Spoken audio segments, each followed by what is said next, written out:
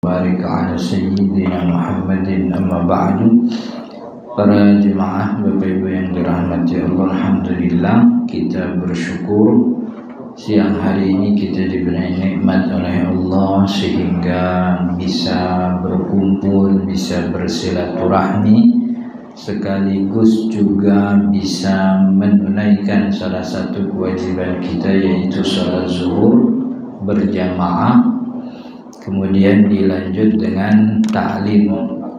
Mudah-mudahan apa yang kita pelajari jadi ilmu yang bermanfaat sekaligus jadi tambahan amal ibadah kita di akhirat. Amin ya rabbal alamin. Qala musannif rahimahullahu taala wa nafa'ana bihi wa bi ulumihi fid darain amin ya rabbal alamin. وتحصل التحية بفرد أو نفل هو ركعتان أو أكثر نواها أولى وتحصل التحية dan salat sunnah tahiyatul masjid itu ini kita masih ngomongin sholat-sholat sunnah yang terakhir kita sebut bahwa sholat sunnah tahiyatul masjid dan sholat sunnah tahiyatul masjid ini sholat sunnah yang terikat dengan sebab. Jadi sholat sunnah itu kan ada tiga. Ada yang terikat dengan waktu ada yang terikat dengan sebab ada yang tidak dua-duanya. Kalau dia terikat dengan waktu itu contohnya sholat sunnah rawatib disebut rawatib itu karena waktunya ada terus terulang-ulang. Qobliyah, ba'diyah, sholat witir. Itu namanya sholat sunnah rawatib terikat dengan waktu. Kalau waktunya lewat boleh dikodok bagi sebagian orang. Tapi nanti kita bahas tentang mengkodok sholat sunnah. Ada sholat sunnah yang terikat dengan sebab. Kalau sebabnya ada sunnah dikerjain tahiyatul masjid sunnah ketika masuk masjid. Sholat gerhana sunnah ketika terjadi gerhana. Sholat istisqa sunnah ketika terjadi uh, pacaklik kekeringan begitu kemudian ada sholat sunnah yang enggak dua-duanya. Nggak ada waktunya kagak ada sebabnya. Nah, ini yang disebut dengan istilah sunnah mutlak. Sholat sunnah mutlak sholat kagak napa-napa begitu waktunya kagak ada sebabnya juga gak ada. Ya pengen aja sholat gitu. Pengen. Habis pagi-pagi habis ngopi sholat duha udah. Sampai 12 rokat udah beres. Maksimal duha kan 12 rokat kalau kemarin kita sebut maksimal 8 rakaat. Jadi antara yang bilang 8 atau 12. Beres sholat duha 12 rakaat, dia bingung mau ngapain lagi. Gitu. Tidur kagak ngantuk. Mau kerja nganggur gitu. Sholat aja lah gitu. Sholat apaan? Ya sholat pengen aja. Gitu. Itu namanya sholat sunnah mutlak. Kagak ada sebabnya, kagak ada waktunya. Pengen aja gitu. Pengen aja apa namanya habis sholat zohor habis sholat zohor badiah udah. Badiah zohor kan dua rakaat udah beres. Mau sholat lagi lah gitu sholat apaan? Ya pengen aja sholat gitu sholat kagak napa tuh sama nama sholat sunnah mutlak namanya sholat sunnah mutlak. Aturannya bagaimana sholat sunnah mutlak? Kagak ada aturan macam-macam. Yang penting jangan di waktu terlarang. Itu aja.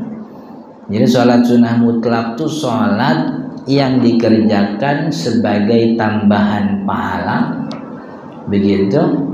Tapi tidak boleh di waktu terlarang. Nggak boleh habis subuh, habis sholat subuh nggak boleh. Habis sholat asar gak boleh. Ketika matahari terbit jangan. Ketika matahari terbenam jangan. Ketika matahari pas di atas kepala jangan sholat sunnah mutlak. Tapi kalau sholat sunnah yang punya waktu dan sebab, boleh itu dikerjain. Bahkan di waktu terlarang. Misalnya kita sholat asar di masjid di musolah rumah kita ini sholat. karena habis sholat asar tuh waktu terlarang sholat tuh nggak boleh kita dengar nih ada ada pengajian nih Ustadz Fulan ah kesono ah gitu rupanya pengajiannya di masjid kita sampai masjid ustadznya belum nyampe nah maka itu daripada bengong sholat tahiyat dulu lah gitu. Itu dia sholat tahiyat habis asar. Boleh boleh.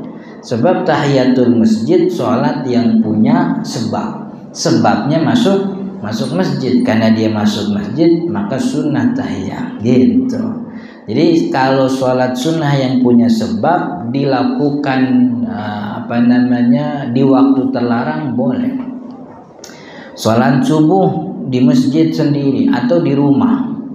Pas hari Minggu lupa nih ada pengajian subuh gabungan gitu. Akhirnya datang dia ke tempat masjid yang ada subuh gabungannya masuk masjid sholat dulu dia dua rakaat sholat sunnah boleh walaupun dikerjakan pada sholat subuh tapi karena punya sebab ah boleh itu namanya sholat sunnah yang punya sebab. Jadi sholat sunnah ada yang terikat waktu terikat sebab ada yang tidak kedua-duanya. Nggak ada waktunya kagak ada sebabnya. Suka-suka aja gitu. Pengen aja daripada bengong kagak jadi pahala mendingan sholat dua rakaat kan begitu? Dan itu banyak itu dikerjain sama kita punya orang tua dulu begitu anaknya lagi ujian di pesantren dia sholat. Gitu. Kadang ada puasanya. Hari Selasa kagak ada puasa sunnah. Selasa kan dia puasa sunnah. Emang kenapa wajib puasa sunnah? Anak gua di pesantren lagi ujian. Mudah-mudahan jadi wasilah jadi tawasul jadi doa buat apa buat anaknya biar lurus ujian. Jadi doa kepada Allah pakai wasilah puasa emang boleh puasa di hari Selasa boleh puasa sunnah mutlak jatuhnya sama puasa sunnah juga ada jadi ada puasa sunnah yang terikat waktu ada puasa sunnah yang tidak terikat waktu puasa sunnah mutlak Nah kan cuman kata ulama puasa sunnah mutlak tuh jangan di hari Jumat. Kalau ulama Syafi'i bilangnya bukan haram makruh. Ini hari Jumat nih. Aduh, gue besok puasa ah. Besok hari Jumat ya. Gue besok puasa. Puasa apa? Gue pengen puasa aja puasa sunnah mutlak. Nah, itu makruh. Milih hari Jumat sendirian tuh makruh. Tapi kalau besok hari Jumat bulan Arafah 9 boleh kagak ada makruh sebab Jumatnya pas tanggal 9 jadi orang puasanya gara-gara tanggal 9 bukan gara-gara uh, Jumatnya gitu sama ini puasa sunnah mutlak kalau sendirian di hari Jumat itu ulama syafi'i bilangnya makruh. Yang lain bilangnya haram gitu boleh gitu. Masih untung kita dah masih dapat pahala puasa gitu. Cuman makruh milihnya Jumat tuh makruh gitu. Wa tahsulu tahiyatu dan salat sunnah tahiyat itu bisa kita dapat bi fardin au naflin hanya dengan salat fardu atau dengan salat sunnah jadi maksudnya ketika orang masuk masjid ada sunnah tahiyatul masjid. Nah tahiyatul masjid itu bisa kita dapat pahalanya kalau kita masuk masjid langsung sholat fardu misalnya.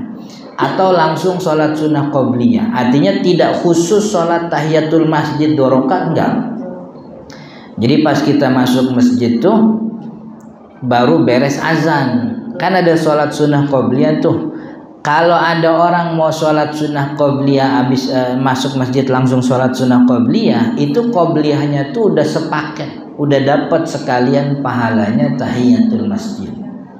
Ada orang masuk masjid imamnya udah takbir udah iqomah imam ikut langsung sholat fardu. Itu sholat fardunya jadi jadi tahiyat jadi tahiyatul masjidnya cukup bisa didapatkan keutamaan pahalanya dengan sholat fardu yang dilakukan pertama kali ketika masuk masjid atau dengan sholat sholat sunnah. Ya kalau mau dipisahin sih bagus. Gua sholat sunnah tahiyatul masjid dulu dah. Habis tahiyat kemudian qobliyah gitu. Nggak apa-apa juga.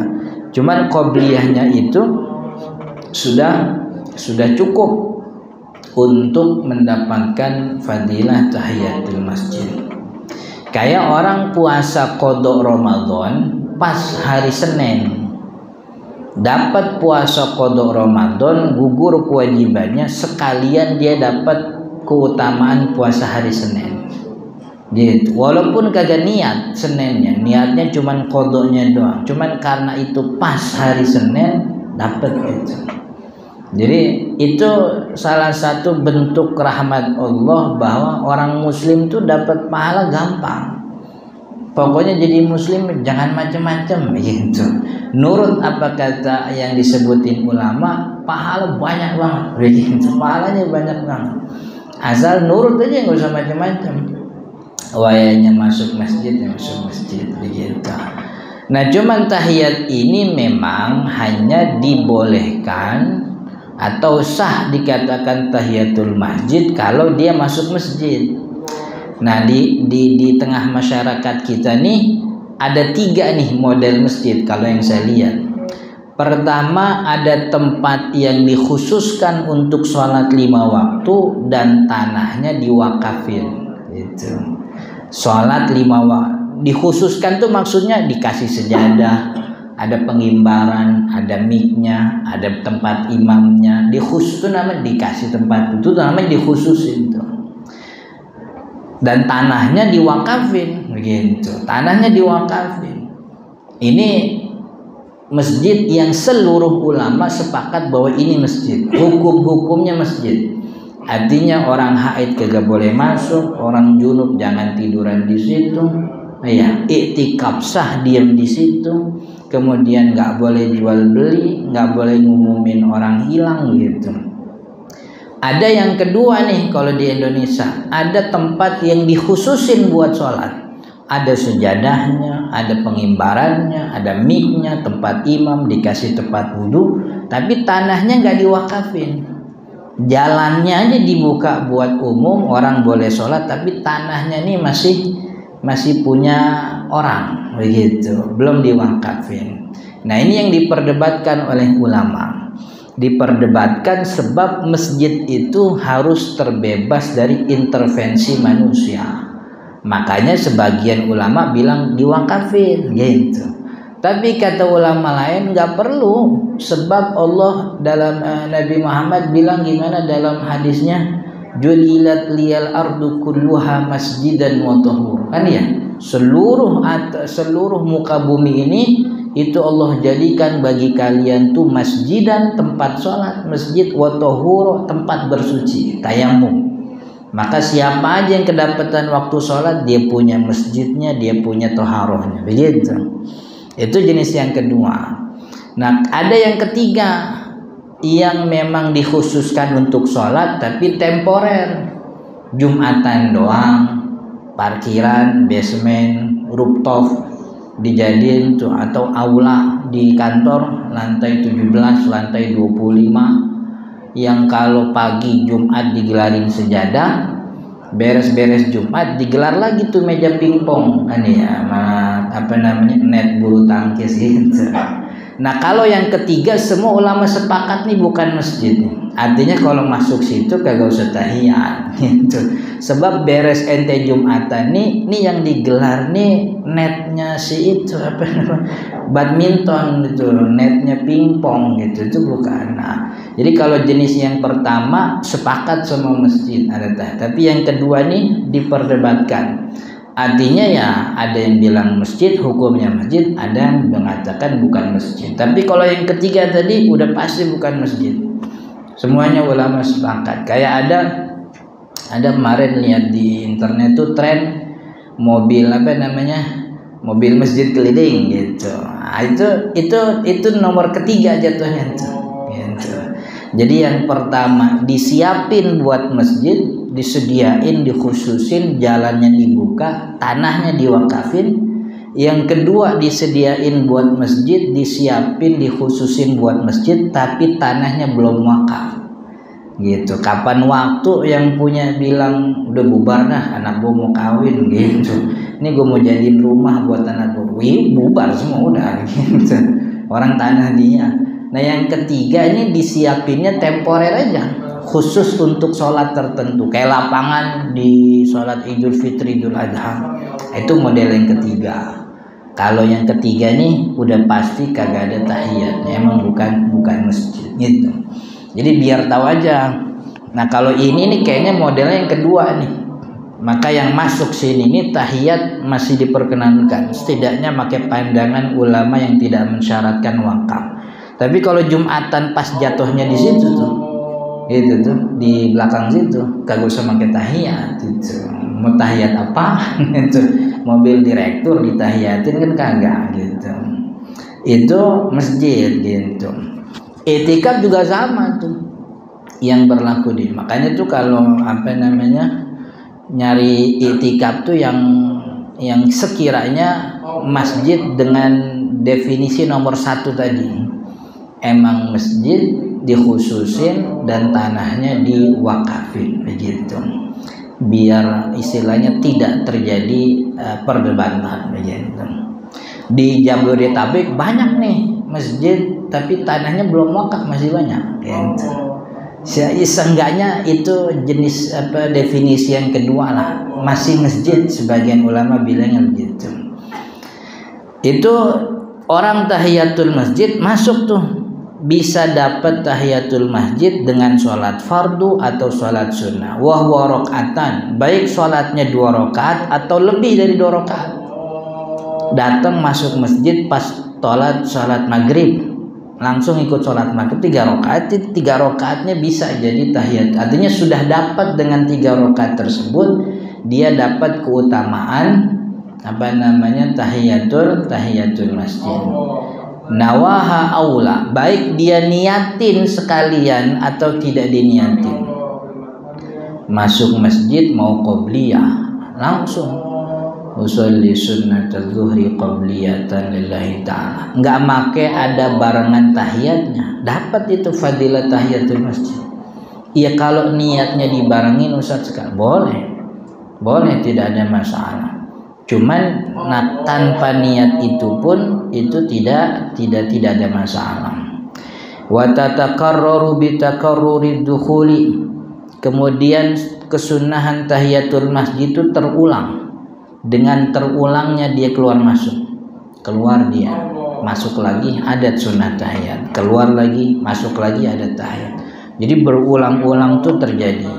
Wa tafutu bil julusi dan sunnah tahiyatul masjid itu hilang.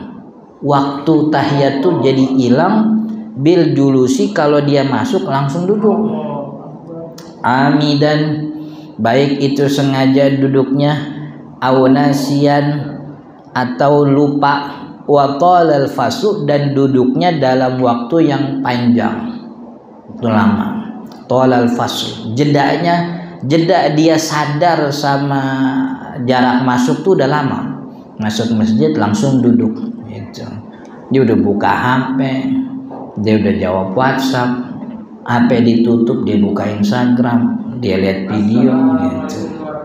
Udah komen komennya ditanggepin orang dia balas lagi. Baru dia ingat lah gue belum tahiyat mau udah kelamaan kalau udah kelamaan hilang udah. Tapi kalau baru sebentar begitu baru masuk masjid langsung duduk. Eh belum tahiyat. Langsung berdiri. Boleh tahiyat. Nggak hilang itu fadilah jadi fadilahnya hilang ketika orang itu sudah duduk kemudian baik duduknya sengaja atau lupa begitu. Nah orang-orang yang sudah terlewat kemuliaan tahiyatul masjid entah karena si dia duduknya lupa kelamaan atau memang masuk masjid dalam keadaan tidak wudhu dia masuk masjid dipanggil sama merbot misalnya. Suruh melihat AC kagak kagak adem no AC dilihat masuk masjid tanpa tanpa wudhu nah orang yang seperti ini nih yang masuk masjidnya bukan tujuan sholat atau dia masuk masjid punya wudhu tapi udah duduk kelamaan itu disunnahkan untuk membaca tasbih.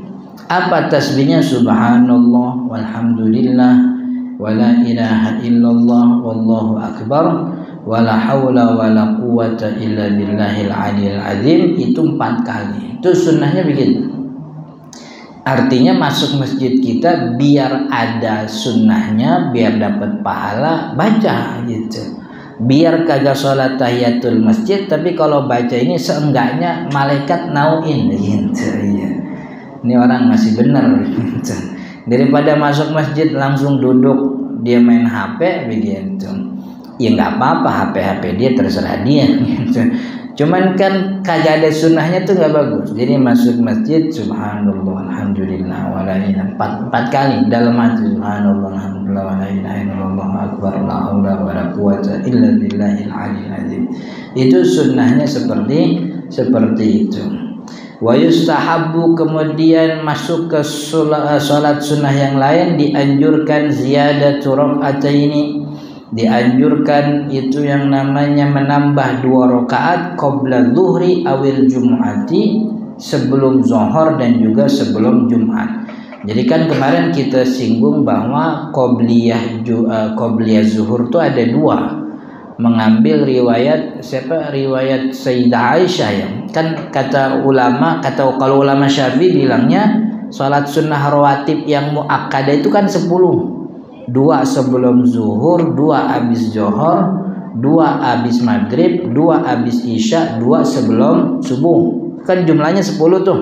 Ini yang muakkad.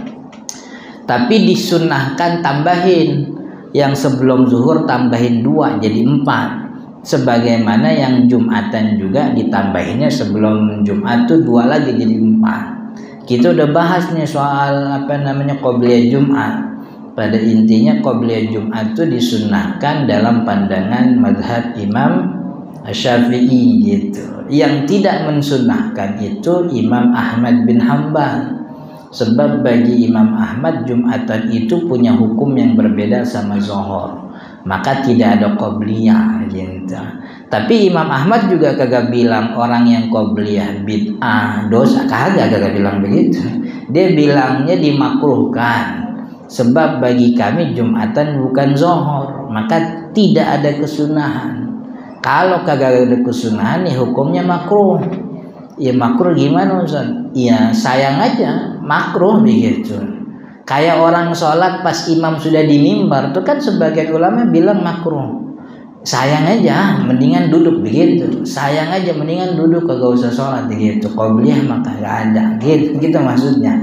Jadi kagak usah dibilangin apa nih orang bid'ah berdosa jangan gitu.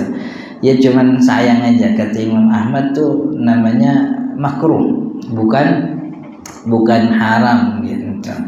Itu sunnahnya tambahin sebelum zohor dua rakaat lagi jadi empat sebelum jumatan juga jadi dua lagi jadi empat ini ba'dahu dan juga dua lagi setelah Jumat. Jadi setelah Jumat ada tambahan dua rakaat. Ba'diyah Jumat yang dua jadi empat. Sebab itu dilakukan oleh banyak sahabat Nabi termasuk Sayyidina Ibnu Mas'ud. Sayyidina Ibnu Mas'ud itu diriwayatkan salat sebelum dan sesudah Jumat empat rakaat. Empat rakaat sebelum, empat rakaat sesudah. Wa arba'in qoblal asri sunnah juga nambahin sunnah rawatib. Yang tadinya 10 rakaat itu sebelum zuhur, habis zuhur, habis maghrib, habis isya sama sebelum subuh. Tambahin habis asar. Habis asar itu berapa sunnahnya? 4 rakaat. Begitu. Wa ini qoblal maghrib 2 rakaat sebelum maghrib wa qoblal isya 2 rakaat sebelum isya akhirnya seluruh sholat lima waktu ada sunnah qobliyahnya Cuman ada yang muakkad, ada yang kagak muakkad kan itu. Qobliyah yang muakkad itu qobliyah zohor sama qobliyah subuh gitu. Qobliyah asar sunnah ada tapi bukan muakkad. Qobliyah maghrib sunnahnya ada cuman bukan muakkad. Qobliyah isya sunnahnya ada cuman bukan muakkad. Yang muakkadah itu qobliyah zohor sama qobliyah subuh gitu. Tapi bukan berarti terang boleh, cuman ini bukan rawatib yang muakkad.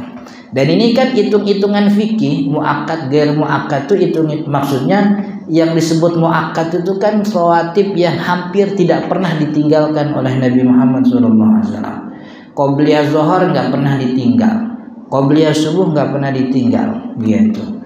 Satu riwayat disebutkan Nabi Muhammad pernah sekali meninggalkan Qobliyah zuhur di malam beliau menjadi menjadi pengantin bersama Sayyidah Aisyah waktu itu. Tapi selain itu enggak, maka jadi muakkad. Nah yang tidak muakkadah ini riwayatnya Nabi kadang ngerjain, kadang kagak gitu. Itu hitung-hitungan fikih. Tapi kalau hitung-hitungan ilmu tasawuf semuanya sunnah muakkad itu. Kalau hitungan orang tasawuf tuh orang sufi, pokoknya yang dikerjain sama Nabi kita kerjain. Kagak ada bedanya muakkad sama muger muakkad. Pokoknya semuanya qobliyah zuhur hayo, qobliyah asar hayo, qobliyah maghrib ayo, qobliyah isya ayo gitu. Asal jangan ba'diyah asar, asal jangan ba'diyah uh, subuh kan memang kagak ada tuh gitu.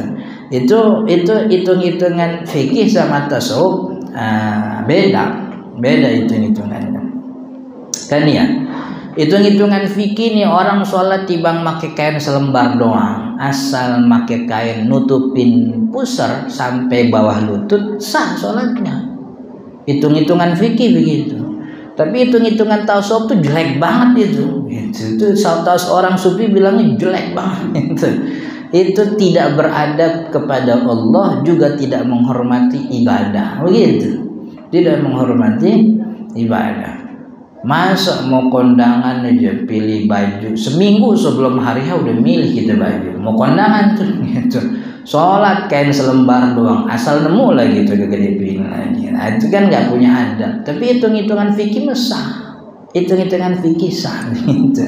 Nah oh ustadz ulama yang ngajarin begitu jangan dibilang dia nyuruh Wah ini Ustadz nyuruh sholatnya cuma pakai cancel lembar. Bukan bukan. Orang lagi jelasin hukum itu hukumnya sah. Boleh gitu. Soalnya saya pernah digituin itu sama orang. Ada orang nanya Ustadz kalau saya sholat di masjid softnya saya kagak nyambung. Dia bilang gitu emang kenapa nggak nyambung? Lagi nungguin bocah tidur Ustaz jadi bocahnya tidur di ujung masjid dia sholat di sampingnya sedangkan shopnya di depan. Jauh nggak nyambung maksudnya jarak apa namanya. Tapi masih di masjid. Persis kayak orang sholat di istiqlal. Orang kan ke istiqlal bukan mau sholat mau jalan-jalan kan ya. Makanya ke istiqlal tuh bawa bocah nenek-nenek di bawah aki-aki di mana itu. Itu anak-anak bocah keliling istiqlal itu capek tidur dia. Emaknya mau ke depan bocah kagak ada yang nungguin kan ya dia nungguin samping bocah kagak ikut sholat sayang. Cuman jemaah di sini jauh siapa enggak? Kan dia nanya itu siapa enggak Ustaz? Saya bilang dalam ilmu fikih sholat jamaah asal di masjid yang sama sah. Walaupun jaraknya jauh. Yang penting di bangunan masjid yang sama begitu. Jaraknya tuh kalau diisil kan pinta tiang yang paling ujung ini kan jaraknya berapa puluh soft itu berapa meter kan ya sah asal masih di masjid yang sama begitu. Itu dibilang waduh ustad nyuruh kagak ngerapetin soft saya kagak nyuruh begitu. Orang nanya sah. Sebab ilmu fikih ketentuannya kalau sholat berjamaah sholat orang jauh dari shopnya tidak nyambung tapi masih di masjid yang sama sholatnya. Kecuali dia di luar pintu masjid sholatnya gak sah gitu. Atau sholat di ruangan yang bukan masjid. Jaraknya sampai lebih dari 20 shop yang lewat dari 20 shop kagak sah. Di luar masjid tuh. Tapi kalau di masjid yang sama imamnya di lantai satu kitanya di lantai dua. Sah nggak ada masalah iti bangsa doang nyuruh mah kagak saya gitu. Men bagusnya tuh kalau sholat ya rapet kan begitu. Itu kadang orang begitu mahaminnya. Jadi kita bilang boleh dikata nyuruh gitu. Bukan. Ini kan hitung-hitungan tasawufnya begitu tuh. Hitungan tasawuf tuh kagak ada muakat gak muakat. Pokoknya kita kerjain semua yang dikerjain sama Nabi Muhammad sallallahu alaihi wasallam. Wa inda safari fi baitihi dan juga wa inda safar wa inda safari fi baitihi dan juga ketika di dalam apa namanya ketika dalam perjalanan juga. Maksudnya dalam perjalanan sunnah rawatib itu tetap tetap ada. Fi baitihi dan itu dikerjakan di di rumah. Artinya bagusnya itu yang namanya sholat sholat sunnah kerjainnya di di rumah. Wa indal kudumi dan ketika dia nyampe fil fil masjidi di dalam masjid. Jadi maksudnya begini. Kalau ada orang yang mau melakukan perjalanan perjalanannya dilakukan pada atau ke malam hari maka sholat qobliyahnya isya atau ba'di isyanya di di rumah begitu tapi kalau dia pas datang dari perjalanan pulang maka sholat sunnah yang nempel sama waktu sholat tertentu sholatnya di sebaiknya di di masjid. Jadi di sebelum nyampe rumah nih mampir dulu. Misalnya kita nyampe jam 11 sekian bentar lagi zohor itu bagusnya kalau mau nyampe itu nyampe nya sholat dulu di masjid rumahnya begitu itu sunnah itu yang biasa dikerjain sama orang orang tua kita dulu begitu semua bahkan sekarang nih apa namanya eh, orang pergi haji itu di kita nih kita punya kita punya apa namanya eh, KBH orang tua kita gitu. Itu kalau dia baru pulang haji dari pondok gede itu ya. Uh, dari kalau kalau sekarang kan pulang langsung dari bandara. Eh sekarang pulang ke pondok gede juga sekarang. Itu dulu dari mana. Sekarang pulang ke pondok gede. Nah, dari pondok gede itu nggak langsung ke rumah. Dia mampir dulu di masjid di musola. Kalau ada sekalian sholat fardu sholat fardu tapi kalau nggak ada sholat fardu sekedar sholat sunnah dulu di sini jadi sholat sunnah di situ kemudian baru dia ke dia ke masjid begitu. Tapi itu hukumnya sunnah.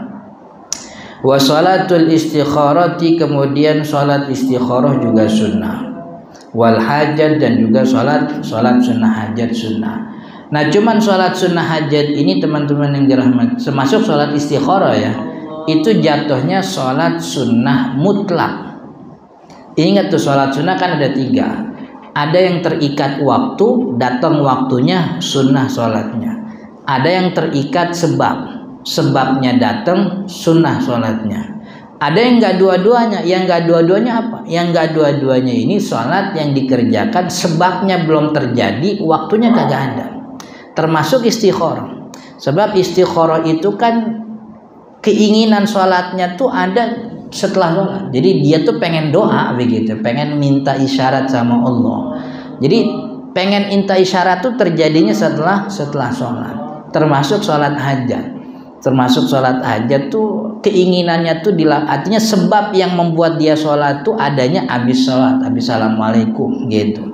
Kalau masuk masjid kan sebab kenapa dia sholat tahiyat itu sebelum salah sebelum takbir yaitu masuk masjid qobliyah waktunya datang dulu baru dia. Nah kalau sholat hajat sholat istikharah itu sebab kenapa dia sholat tuh adanya habis sholat. Assalamualaikum yaitu minta hajat minta istikharah. Maka ini termasuk secara istikharah ini sholat hajat jatuhnya sholat sunnah mutlak. Kalau sholat sunnah mutlak jangan sholat istikharah habis asar. Jangan sholat istikharah habis subuh jangan sholat hajat habis subuh habis asar. Jadi sholatnya itu bagusnya malam. Ba'da isya sampai subuh itu kan tidak ada waktu terlarang. Ba'da isya sampai subuh tidak ada waktu terlarang. Wa salatul awabin dan juga salat sunnah awabin. Salat sunnah awabin ini ada sebagian ulama bilang salat awabin itu salat duha. Sebahagian ulama bilang begitu. Tapi kalau dalam mazhab syafi'i salat awabin itu salat paling sedikitnya empat rakaat paling banyaknya eh, berapa nih? Wa sitan isrun 20 rakaat. Paling sedikit 4 rakaat paling banyak 20 rakaat. Waktunya antara maghrib dan isya itu namanya sholat sholat awabin. Ini dalam madhab syafi'i sholat awabin itu antara maghrib dan isya paling sedikit 4 paling banyak 20 gitu. Kalau kata ulama lain sholat awabin itu nama lain daripada sholat sholat duha. Sebab memang riwayatnya pernah disebut tuh sholat awabin itu termasuk sholat duha. Tapi riwayat lain juga hmm, sholat awabin itu ketika ketika terbenam sudah terbenam matahari. Begitu. Intinya yang ulama syafi'i menguatkan ini begitu yang ulama lain menguatkan yang itu tapi pada intinya tidak ada larangan antara maghrib dan isya orang melakukan sholat. Katakanlah orang nggak demen apa nih sholat awabin. Kan hadisnya tuh gini gini gini. Ya nggak usah sebut sholat awabin lah. Sebutnya sholat sunnah mutlak kan boleh. Sebab antara maghrib dan isya kan bukan waktu yang terlarang. Jadi kalau orang mau sholat habis badiyah dua rakaat dia mau sholat dua rakaat lagi ya boleh. Kurang dua rakaat nambah empat boleh. Lagi nggak apa-apa. Artinya kalaupun tidak suka dengan nama awabin, katakanlah sholat sunnah mutlak. Sholat sunnah mutlak tidak terlarang antara maghrib dan dan isya begitu. Wa sholatu tasbih dan juga sholat sunnah tasbih. Ya, sholat sunnah tasbih ini juga termasuk sholat sunnah yang diperdebatkan oleh banyak ulama. Tapi empat madhab itu tidak bermasalah. Ya, madhab syafi'i memang mensunahkan. Madhab yang lain itu tidak tidak mempermasalahkan keberadaan sholat sunat tasbih. Sebab hadisnya, hadisnya tuh kalau dalam bahasa ilmu hadis kasrotut turuk. Jalur hadis sholat tasbih itu banyak. Jadi saking banyak jalurnya nih, masing-masing riwayat menguatkan riwayat yang lain, gitu. Maka ulama syafi'i mengatakan sholat sunat tasbih itu hukumnya sunnah dia empat rakaat. Boleh langsung satu salam boleh dibikin dua kali salam dua rakaat dua rakaat. Nah sholat tasbih itu setiap berdiri setelah baca al-fatihah dan surat itu baca tasbih 15 kali.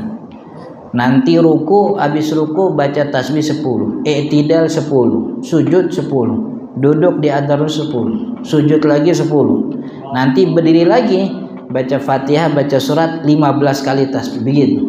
Jadi riwayatnya apa namanya eh, salah satu hadis yang disebutkan dalam riwayat dalam kitab uh, siapa? Imam Nawawi Al Adhkar salah satu fadilah salat tasbih itu wafat dalam keadaan husnul khotimah orang yang sholat tasbih. Artinya iman Islamnya dijagain sampai dia wafat begitu.